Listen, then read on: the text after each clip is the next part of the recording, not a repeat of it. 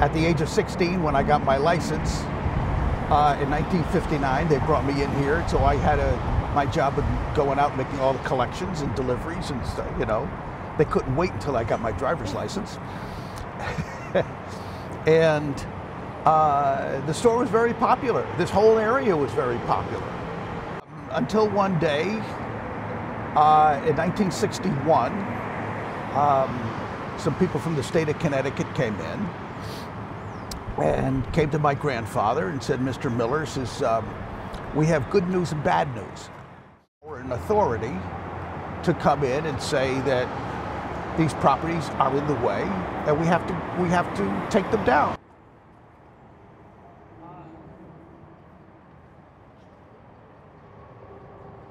I look at it, I look at the, you know, and I look at the picture and I say, oh, man. Do you miss it? Uh, sure. How, you know, it was a happy time. Right, right. You know. I was a time my grandfather, my grandfather's brother, my uncles, uh, everybody, you know, when we all pitch in. Yeah. Nope. You know, nobody's saying anything. You know, that's what you had to do. You did it. Right. You know, it's a, it was a fun thing.